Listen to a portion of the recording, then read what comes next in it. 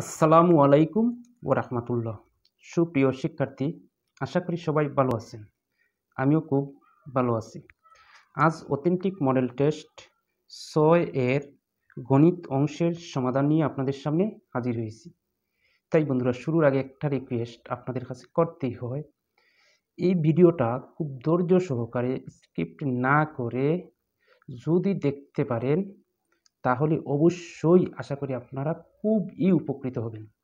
কারণ আমি প্রত্যেকটা অঙ্কের চেষ্টা করি নৈর্ভিত্তিকের মতোই, অর্থাৎ অল্প সময়ে বিশ, পনেরো সেকেন্ডের মধ্যে উত্তরটা দেওয়ার।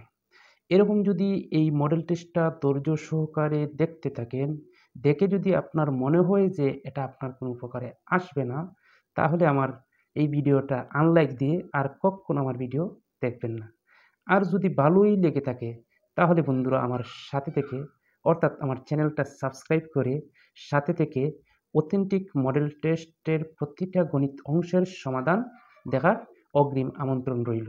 যদি আপনারা এই মাত্র পঁচিশটা মডেল টেস্ট বা পঞ্চাশটা মডেল টেস্টের গণিত অংশের সমাধান আমার এরকম ভিডিও দেখে দেখেই আয়ত্ত করতে পারেন, তাহলে আশা করি যে কোনো ধরনের প্রতিযোগিতামূলক পরীক্ষায় পনেরো থেকে সতেরো, আঠারোটা অঙ্ক আপনারা অবশ্যই অবশ্যই কমন পাবেন।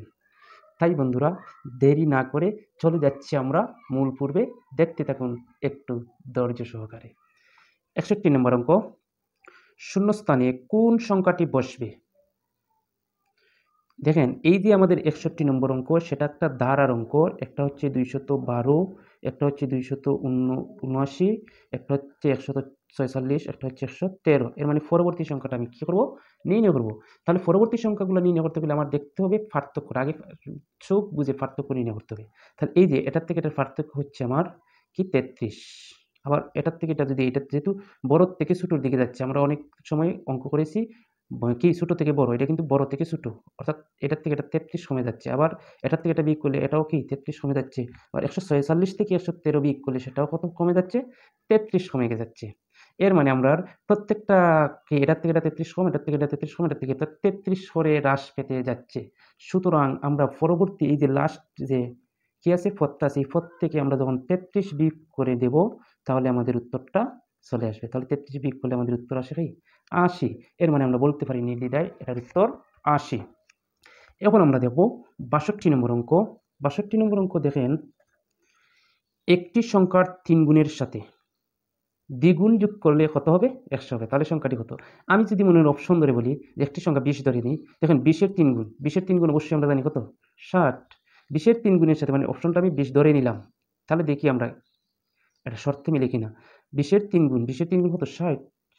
এবং তিন গুণের সাথে কি যোগ করব? দ্বিগুণ। তাহলে দ্বিগুণ, বিশের দ্বিগুণ কত? চল্লিশ। তাহলে দুইটা যোগ করেন, দেখেন খেয়ে যাচ্ছে একশো। এর মানে আমরা এখানেই কিন্তু উত্তর পেয়েছি মানে বিশ ধরলে আমাদের উত্তরটা ঠিক আছে। কিন্তু এটা যদি এভাবে না করি, আমরা আমরা সচরাচর সিস্টেমে মনে করি যে সংখ্যাটি কত? তাহলে মনে করলাম আমি সংখ্যাটি কত? সংখ্যাটি সংখ্যাটি কি? এক্স তাহলে আমরা প্রশ্নমতে লিখতে পারি কি? প্রশ্নমতে লিখতে পারি যে সংখ্যাটির তিন গুণ যেহেতু সংখ্যাটি এক্স ধরছি, এটার তিন গুণ মানে থ্রি এক্স তিন গুণের সাথে দ্বিগুণ দ্বিগুণ মানে কি? টু এক্স টু এক্স কী করতাম? যোগ করতাম। যোগ করলে কী আসবে? যোগ করলে তার যোগফল হান্ড্রেড তাহলে আমরা এখান থেকে এক্সের মানটা নির্ণয় করা মানেই সংখ্যাটি নির্ণয় করা। তাহলে আমরা দেখে নিই থ্রি এক্স টু এক্স যোগ করলে হয় ফাইভ এক্স ইকুয়াল কত? হান্ড্রেড বা এক্স ইকুয়াল একশত বাক কত? ফার্স্ট একশোকে ফার্স্ট দ্বারা বাক করলে ফার্স্ট বিশে কত? একশো। এর মানে আমরা এভাবেও এটার উত্তর দিতে পারি। এটার উত্তর হচ্ছে বিশ। এখন আমরা দেখব তেষট্টি নম্বর অঙ্ক। তেষট্টি নম্বর অঙ্ক হচ্ছে রোমান এম প্রতীকের অর্থ কী? আমরা জানি রোমান কিছু সংখ্যা আছে এল সি ডি এম এই যে রোমান সংখ্যাগুলা। রোমান সংখ্যাগুলো এটার মান হচ্ছে এল এর মান হচ্ছে ফিফটি আর সি এর মানটা হচ্ছে হান্ড্রেড ডি এর মানটা হচ্ছে ফাইভ হান্ড্রেড এম এর মানটা হচ্ছে ওয়ান থাউজেন্ড এর মানে এটা উত্তর বলতে পারি আমরা এক হাজার। এখন আমরা দেখব চৌষট্টি নম্বর অঙ্ক। চৌষট্টি নম্বর অঙ্কটা কি? বারো কোন সংখ্যার একশো পঞ্চাশ পার্সেন্ট এই ধরনের অঙ্ক খুব বেশি আসে। বারো কোন সংখ্যার একশো পঞ্চাশ পার্সেন্ট আমি মনে করি কোন সংখ্যাটা মনে করি এক্সের কোন সংখ্যার? এক্সের এক্সের কত পার্সেন্ট এক্সের একশো পঞ্চাশ পার্সেন্ট সমান কত? বারো। কোন সংখ্যার একশো পঞ্চাশ পার্সেন্ট বারো? এক্সের তাহলে আমরা এটা যদি ক্যালকুলেশন করি এক্সের এই যে পার্সেন্টটা তোলার জন্য আমরা একশো দ্বারা কী করি? বাঘ করি। তাহলে কী দাঁড়ায়? এটা দাঁড়ায়। তাহলে আমরা কি এটা যদি সূত্র করি, দেখেন তিন পঞ্চাশে কত? দেড়শো। আবার পঞ্চাশ দ্বারা এই একশোকে ভাগ করলে দুই। তাহলে আমাদের উত্তরটা কী আসে? দুই। এটার সাথে এটা গুণ করলে তিরি এক্স ইকুয়াল কত? বারো। এখন আমরা কি করব? আর গুণন করে এক্সের মানটা আমাদের এখানে নিয়ে আসব। তাহলে এটা দ্বারা এটা গুণ করলে তিরি এক্স ইকুয়াল কত? বারো বা বারো ইন্টু কত? দুই।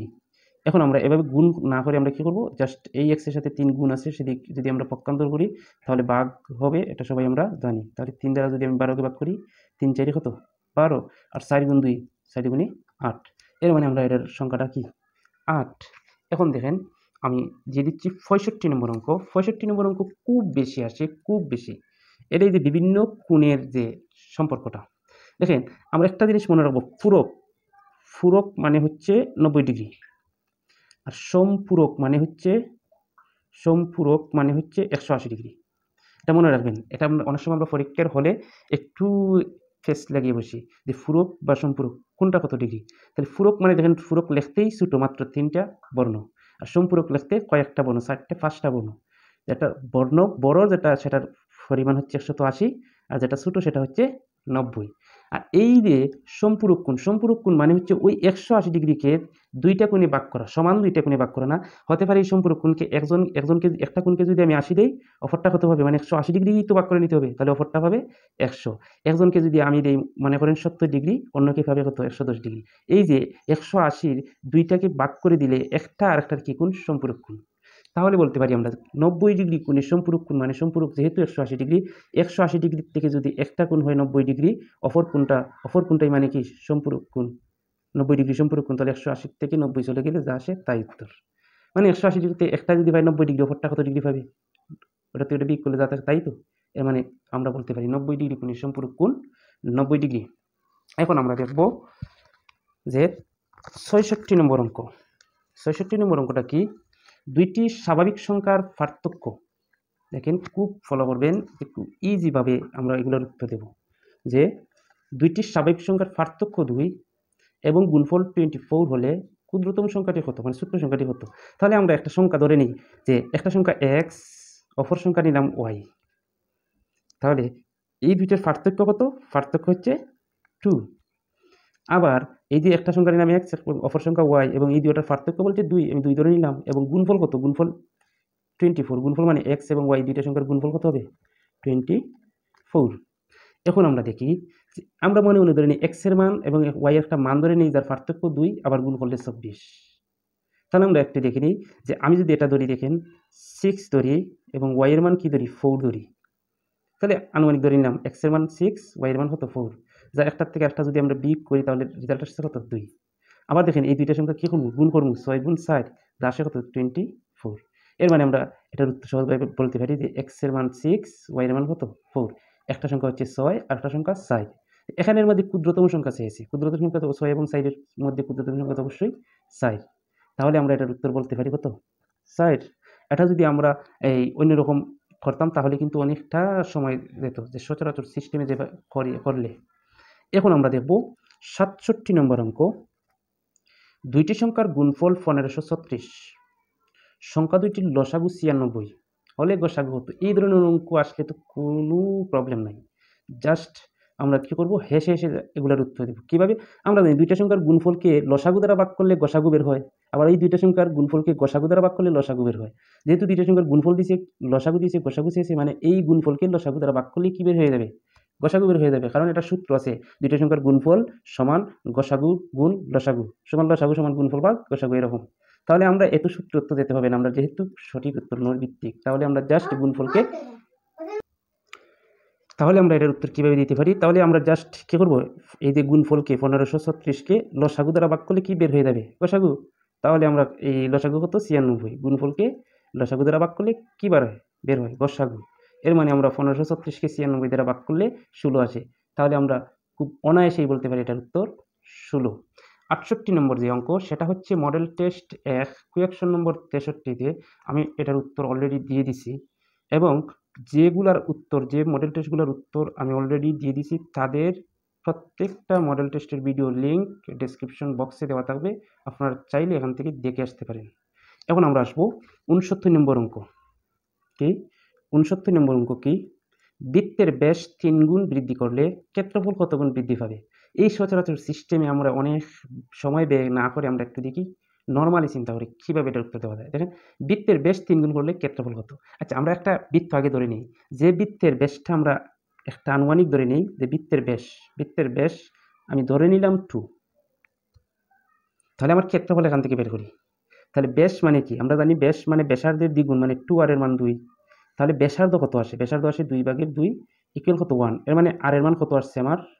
আর এর মান আসছে ওয়ান অর্থাৎ বেশ যখন আমি দুই ধরছি, আমি আনুমানিক ধরে নিলাম দুই ধরে আগে।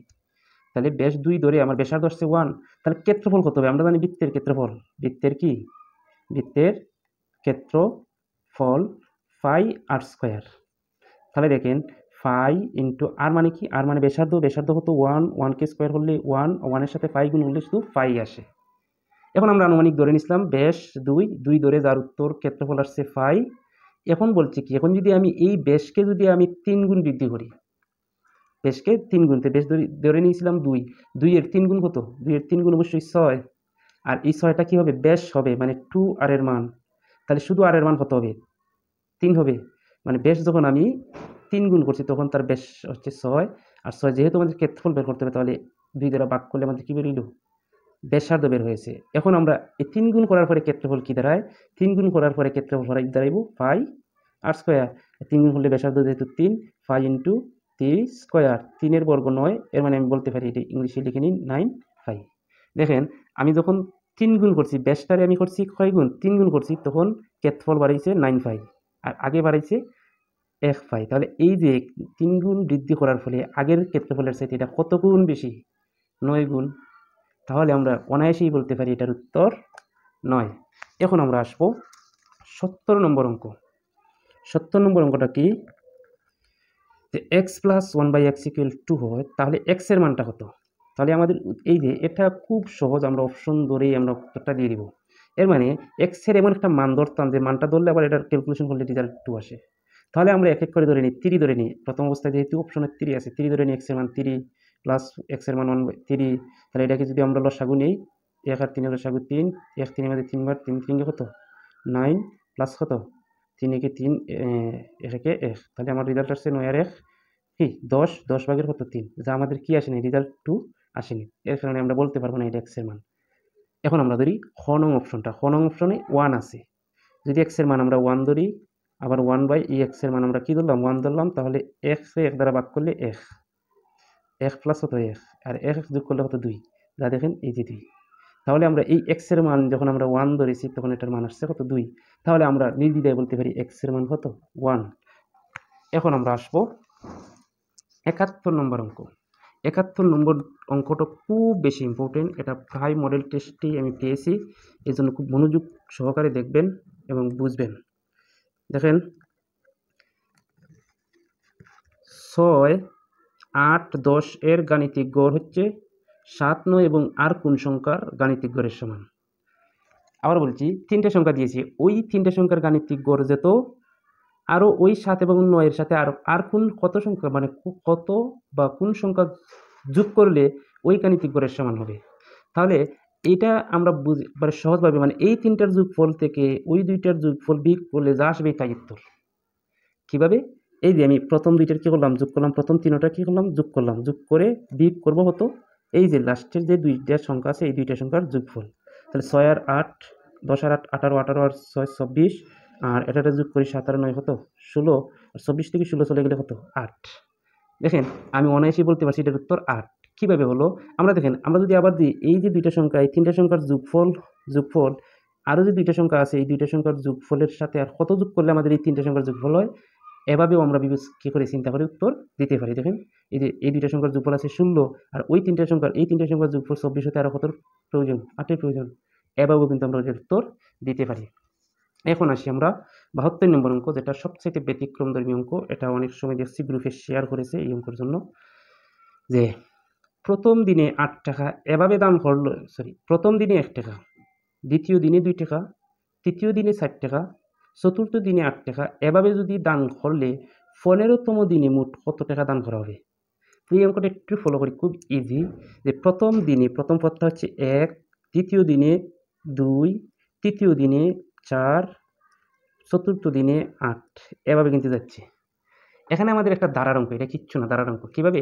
এখানে দেখেন এই পার্থক্যগুলো সমান নয়। পার্থক্য দ্বারার অঙ্ক আমরা এটা গুণোত্তর দ্বারা গুণোত্তর দ্বারা কাকে বলে? যার অনুপাতগুলো সমান। অনুপাতকে দেখেন, ওই দ্বিতীয় পদকে প্রথম পদ দ্বারা ভাগ করেন, যেমন দুইকে এক দ্বারা ভাগ করেন, কি আসছে? দুই। আবার দ্বিতীয় পদকে এই পদ দ্বারা মানে পূর্বের পদ দ্বারা ভাগ করেন সাইকে দুই দ্বারা ভাগ করলে কি আসবে? দুই। আবার আটকে সাই দ্বারা ভাগ করে আসবে কি? দুই। মানে অনুপাতগুলো যদি সমান হয়, তাহলে এটা আমরা গুণোত্তর দ্বারা বলতে পারি। আর গুণোত্তর দ্বারা, এখানে আমরা কি বলতে পারি এটা? গুণোত্তর দ্বারা। গুণোত্তর দ্বারা এখানে প্রথম পদ প্রথম পদ এর সমান আছে কত আমাদের? এক। সাধারণ অনুপাত সাধারণ অনুপাত মানে কি? সাধারণ অনুপাত মানে আর এর মান। অনুপাত, অনেক সময় আর পি ধরে নিতে পারে। আর এর মান হতো এই যে দুই। আমাদের সাধারণ অনুপাত কত? দুই কে দ্বারা ভাগ করেন দুই, চারকে দুই দ্বারা ভাগ করেন দুই মানে সাধারণ অনুপাত সবসময় দুই। আমরা বের করতে চেয়েছি পনেরোতম পদের সমষ্টি।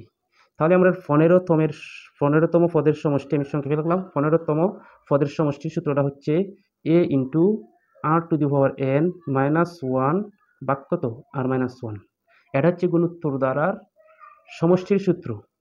তাহলে পনেরোতম পদ। তাই পনেরোতম পদে গুণোত্তর দ্বারা সমষ্টির সূত্র, এর মান আমরা জানি ওয়ান এই যে এর মানটা কি? ওয়ান আর এর মানটা কত? আর মানে সাধারণ অনুপাত টু টু এন এর মানটা কত? কততম পদ? পনেরোতম পদ। পনেরোতম পদ কত হবে? পনেরোতম পদ হবে কত? পনেরো। তাহলে বলতে পারি পনেরো। পনেরো মাইনাস শত ওয়ান আর এর মান টু মাইনাস শত ওয়ান এখানে এখানে কিচ্ছু না। দুই থেকে এক চলে গেলে এক। এক আর কোনো কাজে লাগবে না, বাজক যদি এক হয়। টু টু দিবার পনেরোর মানটা কত? টু টু দিবার পনেরোর মানটা হয়ে আসবে কত আমাদের? বত্রিশ হাজার সাতশো আটষট্টি আসে। এই যে টু টু দিবার পনেরো। টু টু দিবার কত? ফিফটিন এর মান আছে বত্রিশ হাজার সাতশো আটষট্টি। বিয়োগ কত? এক। তাহলে আমরা বলতে পারি বত্রিশ হাজার সাতশত কত? সাতষট্টি। তাহলে এটার উত্তর আসছে আমাদের বত্রিশ হাজার সাতশত সাতষট্টি। কিন্তু এখানে দেওয়া আছে সাতান্ন। এখন তেয়াত্তর নম্বর যে অঙ্কটা, তেয়াত্তর নম্বর অঙ্কটা model test first question number sixty এইটে এটার উত্তর আমি দিয়ে দিছি। ডেসক্রিপশন বক্সে ভিডিও লিঙ্কটা দেওয়া থাকবে, অবশ্যই আপনারা দেখে আসবেন খুব সহজভাবে। এখন আমরা দেখব কত? চুয়াত্তর যে নম্বর অঙ্কটা, চুয়াত্তর নম্বর অঙ্কটা। চুয়াত্তর নম্বর অঙ্কটাও খুব ইজিভাবে ইজি মেথডে আমরা একটু চিন্তা করার চেষ্টা করি এখন কীভাবে আমি খুব ইজি মেথডে চেষ্টা করব। আমরা একটু দিকটা পড়ি। একটা বর্গের প্রতিটি বাহুর দৈর্ঘ্য দশ পার্সেন্ট বৃদ্ধি করা হলে বর্গক্ষেত্রের ক্ষেত্রফল কত বৃদ্ধি পাবে? আচ্ছা আমরা একটা বর্গ, আমরা জানি বর্গের প্রত্যেকটা বাহু কি সমান? আমরা একটা বর্গক্ষেত্রের দৈর্ঘ্য আমি ধরে নিই, বর্গক্ষেত্রের বাহু প্রথম অবস্থায় আমি দশ ধরে নিলাম। দশ ধরে, দশ ধরলে তার ক্ষেত্রফল কত? আমরা জানি বর্গক্ষেত্রের ক্ষেত্রফল এক বাহুর দৈর্ঘ্য মানে বাহু গুণ বাহু, দশ গুণ কত? দশ বা বাহু স্কোয়ার তাহলে আমাদের আসে কত? একশো। আমি ধরে নিই, বর্গক্ষেত্রের এক বাহুর দৈর্ঘ্য দশ, আর দশ ধরলে আমাদের ক্ষেত্রফল আসে কত? একশত। এখন আমি কী করব? দশ পার্সেন্ট বৃদ্ধি করব। দশ পার্সেন্ট বৃদ্ধি যেহেতু আগে আছে আমাদের দশ এখন যদি এই দশ পার্সেন্ট বৃদ্ধি করি তাহলে দশের দশ পার্সেন্ট কত দশের দশ পার্সেন্ট কত দশের দশ পার্সেন্ট কত দশের দশ পার্সেন্ট এক এর মানে আগে ছিল দশ এখন দশ পার্সেন্ট বৃদ্ধি করলে আরও এক বাড়ে তাহলে হবে কত দশ পার্সেন্ট বৃদ্ধি করলে এগারো কত হবে দশের সাথে আরও এক যোগ করলে আমাদের আসবে কত এগারো মানে দশ পার্সেন্ট বৃদ্ধি করলে আমাদের বাহু দৈর্ঘ্য আসে এগারো তাহলে দশ পার্সেন্ট বৃদ্ধি করলে তার ক্ষেত্রফল কত আসে তাও আমরা জানি যে দশ পার্সেন্ট বৃদ্ধি করলে তার এগারো আসছে, এগারো গুণ এগারো বাহু গুণ বাহু, আর এগারোকে এগারো গুণ করলে একশত একুশ। দেখুন, দশ পার্সেন্ট বৃদ্ধি করে তার ক্ষেত্রে ক্ষেত্রফল হয়েছে একশো একুশ, আর আগে ছিল কত একশো, তাহলে কত বৃদ্ধি পেয়েছে? তাহলে একশো একুশ থেকে আমি কী করব? একশো বিক করব, তাহলে কত পার্সেন্ট একুশ পার্সেন্ট বৃদ্ধি পেয়েছে। তাহলে আমরা এটা বলতে পারি খুব সহজভাবে। এখন আমরা দেখি পঁচাত্তর নম্বর এটা কোনো অঙ্কন এটার মুখস্থ যে এক মিটার সমান কত ইঞ্চি? আমরা জানি উনচল্লিশ দশমিক তিন সাত ইঞ্চি, এটা মুখস্থ। আবার ছিয়াত্তর নম্বর অঙ্কটা মুখস্থ, একটা বর্গ মাইল এক বর্গ মাইল এর সমান নিচের কোনটা? এই চারশো আশি একক, এটা আমরা মুখস্থ, এটা কোনোভাবেই অঙ্ক না। এখন আমরা আসি সাতাত্তর নম্বর অঙ্কটা। সাতাত্তর নম্বর অঙ্কটা দেখেন একবারে ইজি মেথডে আমাদের যদি উভয় বিষয় এবং প্রত্যেক বিষয়ে এক জাতীয় থাকে মানে উভয় বিষয়ে ফার্স্ট অথবা উভয় বিষয়ে ফেল থাকে খুব সহজেই নির্ণয় করা যায়। দেখেন, কোন শ্রেণীতে একশো জন পরীক্ষার্থী ছিল? আমরা একশো এমনি ধরে নিতে সবসময়, না থাকলেও।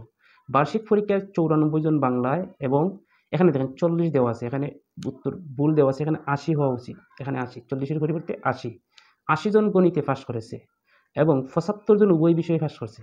তাহলে কতজন উভয় বিষয়ে কী করছে? একবারে এই অঙ্ক, কারণ সবগুলাই একটা উভয় বিষয়ে যে পাশ করেছে, অন্য দুই সাবজেক্টও পাস করা আছে। তাহলে আমাদের আর কোনো জটিলতা এখানে নেই। তাহলে উভয় বিষয়ে ফেল কীভাবে বার করব? একবারে সংক্ষেপে আমরা ওই একশো থেকে বিয়োগ করব যে আলাদা আলাদা সাবজেক্ট এই আলাদা আলাদা সাবজেক্টের যোগফল থেকে, যোগফল কত? যেমন শুধু বার্ষিক পরীক্ষায় বাংলায় চৌরানব্বই প্লাস গণিতে কতজন? আশি জন। এই আলাদা আলাদা সাবজেক্টের যোগফল থেকে উভয় বিষয়ের টা কী করব? বিয়োগ করব। বিয়োগ করে আমাদের এখান থেকে রেজাল্ট আসবে তাই উত্তর।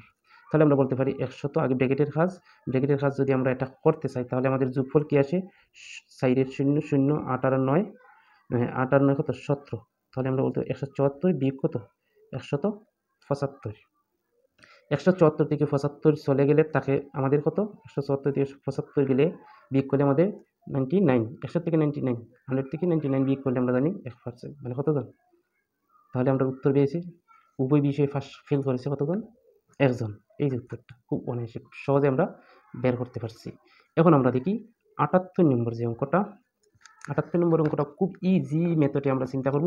এই ধরনের অঙ্ক এত ইজি মেথড যেখানে A plus B equal seven A B equal কত?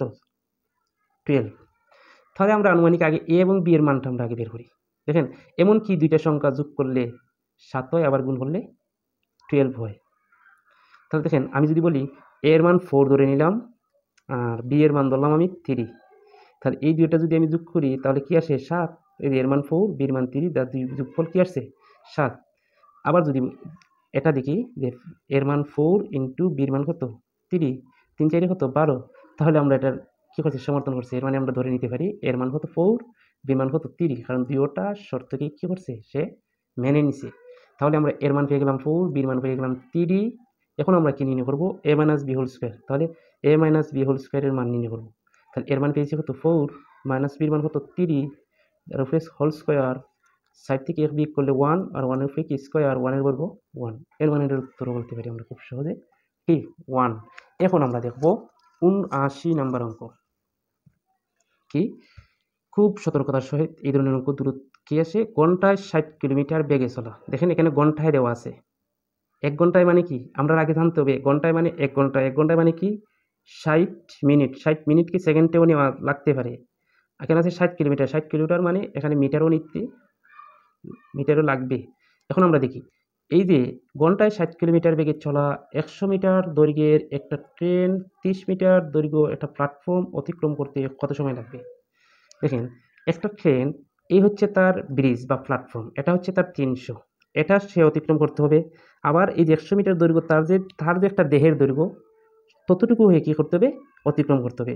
এই প্ল্যাটফর্মটা অতিক্রম করতে গেলে তার আগে এই প্ল্যাটফর্মটা অতিক্রম করতে লাগবে তিনশো। আবার যে তার দেহের যে পরিমাণটা, এই দেহের দূরত্বটা কী করতে হবে? অতিক্রম করতে হবে। তাহলে এই প্ল্যাটফর্মের অংশ তিনশো আর তার দেহের দৈর্ঘ্য হচ্ছে আরও একশো। তাহলে মোট কতটুকু দূরত্ব অতিক্রম করতে হবে? চারশো মিটার। তো বলছি ওই চারশো মিটার অতিক্রম করতে কত সময় লাগবে? এখন আমরা আসি এই চারশো মিটার। তাহলে আমরা দেখতে হবে এই যে ষাট কিলোমিটার। আমরা জানি ষাট কিলোমিটারকে আমরা কী করতে দেবো মিটারও নিতে হবে। তাহলে দেখে নেই। এই দেখেন ষাট কিলোমিটার। ষাট কিলোমিটার মিটার, যেহেতু আমাদের দূরত্বটা মিটারে, এই কিলোমিটারকে মিটারে নিতে হবে। এক মি, এক কিলোমিটার সমান যদি হয়, এক হাজার মিটার। এক হাজার মিটার, তাহলে ষাট কিলোমিটার কত হবে? ষাট কিলোমিটার হবে। অনায়াসে আমরা বলতে পারি ষাট হাজার মিটার। আবার এক ঘণ্টা, এটা সেকেন্ডে নিতে হবে। এক ঘণ্টা সমান আমরা জানি, এটা অবশ্যই জানি, এক ঘণ্টা সমান কত? ছত্রিশশো সেকেন্ড তাহলে এই যে ষাট হাজার ষাট হাজার মিটার যায় কত সেকেন্ডে ছত্রিশশো সেকেন্ডে তাহলে এক মিটার যাবে কত? ছত্রিশশো ভাগ কত? ষাট হাজার সেকেন্ড তাহলে আমাদের কত মিটার যেতে হবে? ওই যে মুদ্রত সাইজ চারশত তাহলে সাতশো মিটার যেতে তার সময় লাগবে। এই যে ছত্রিশশো গুণ চারশত ভাগ কত? ষাট হাজার। তাহলে দেখেন, এই দুইটা শূন্য, এই দুইটা শূন্য কাটলাম, এই দুইটা শূন্য, এই দুইটা শূন্য কেটে দিলাম রইল ছয়, এখানে ছত্রিশ। দেখে যদি আমরা ভাগ করি, কত আসে? ছয় নং, কত? ছয় ছয়, ছত্রিশ। ছয়ের সাথে ষাট গুণ করলে ষাট ছয়, চব্বিশ। তাহলে আমরা অনায়াসে বলতে পারি এটার উত্তর কত সেকেন্ড লাগবে? চব্বিশ সেকেন্ড। এখন আমরা আসি লাস্ট যে অঙ্কটা লাস্ট অঙ্কটা কত? আশি নম্বর যে অঙ্ক। আমরা একটু দেখি। এই যে আশি নম্বর অঙ্ক। ক খ অ, গ এর বেতনের অনুপাত সাত, অনুপাত পাঁচ, অনুপাত তিন। খ গ অপেক্ষা দুইশো বাইশ টাকা বেশি পেলে কয়ের বেতন হতো তাহলে আমরা এখানে যেহেতু অনুপাতগুলো দেওয়া আছে, তাহলে কয়ের বেতন কয়ের বেতন ধরতে পারি আমরা সাত এক্স, ক্ষয়ের বেতন ধরতে পারি আমরা কত? কত এক্স আছে? ক্ষয়ের ফাইভ এক্স এবং গয়ের বেতন আমরা ধরতে পারি আমরা কত? Three x. এখন আসি পরে। খ, গ অপেক্ষা দুই হাজার দুইশো বাইশ টাকা বেশি পায়। দেখেন, খ পায় খ পায়, গয়ের অপেক্ষা দুইশো বাইশের মানে খ এবং গয়ের পার্থক্য কত? তাহলে প্রশ্ন মধ্যে লিখতে পারি। এই যে হ এবং গ, তাদের পার্থক্য five x minus three x equal কত? দুইশত বাইশ টাকা। হ এবং এর পার্থক্য? এখান থেকে আমরা এক্সের মানটা নিয়ে নেব। ফাইভ এক্স থেকে থ্রি এক্স চলে গেলে two x two x equal দুইশত বাইশ বা এক্স টুটা বাঘ আছে পক্ষান্তর করলে কী হবে? গুণ আছে ভাগ হবে। তাহলে দুইশো বাইশকে দুই দ্বারা ভাগ করলে একশত এগারো আসে। একশত কত? এগারো। এটা কার মান পেয়েছি? এক্সের মান। কিন্তু শেষে কার মান?